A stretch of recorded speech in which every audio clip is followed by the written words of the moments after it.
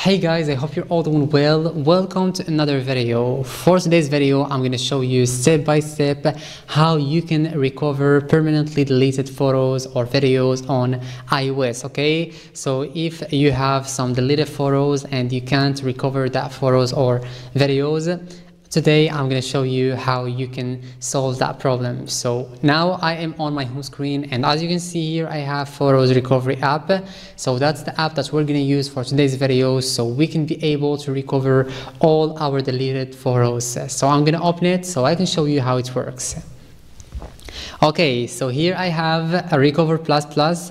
All you need to do is to just click on Recover Plus Plus and as you can see, I just recovered all my pictures, okay? So uh, it's easy just with one click or like you don't have to do some effort so you can be able to recover your pictures. All you need to do is to just uh, click one click and you're going to be able to recover your videos or your photos. So now I am going to get out from this app and before to show you how you can be able to download Photos Recovery app, we need to go first to settings to make some changes there. So let's open settings.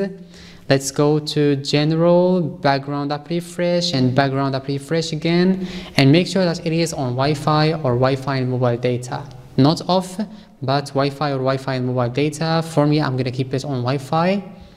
Okay, let's go back to settings and let's go to battery and make sure that the low power mode is off. Not on, but off, okay?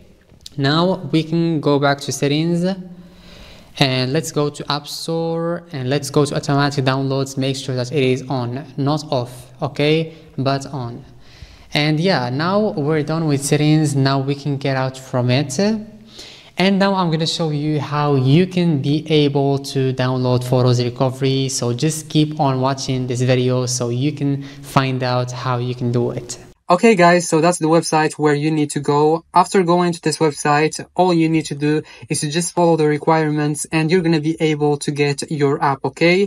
Uh, uh, it's not something like difficult or complicated. There are some simple requirements and follow them and then you're going to uh, be able to download the app. And this was the video guys. I hope it was useful to you and see you in the next video. Thanks for watching.